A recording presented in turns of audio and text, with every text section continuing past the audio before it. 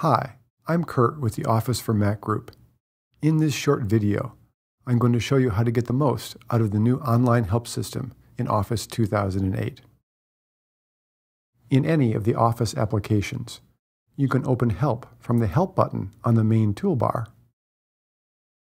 or from here on the Help menu. If you're using macOS 10 Leopard, make sure you click this option to open the Help viewer.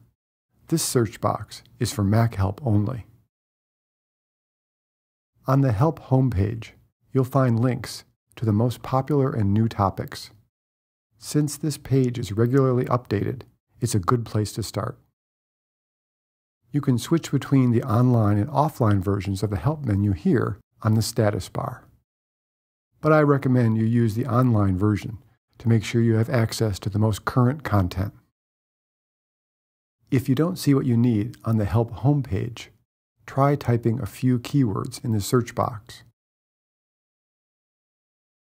Or if you want, you can browse all the topics listed in the table of contents.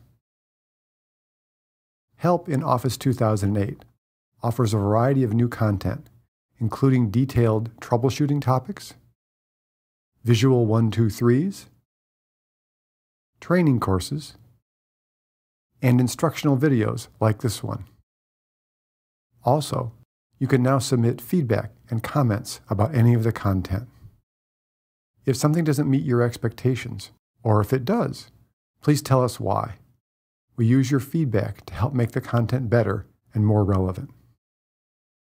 Although I've shown only the Word help system, each of the four Office 2008 applications includes the same new help features.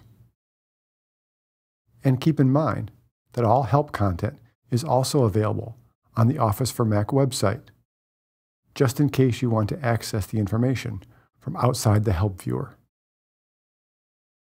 So that's a quick overview of the new help in Office 2008. I encourage you to use it when you have questions, or if you just want to learn something new.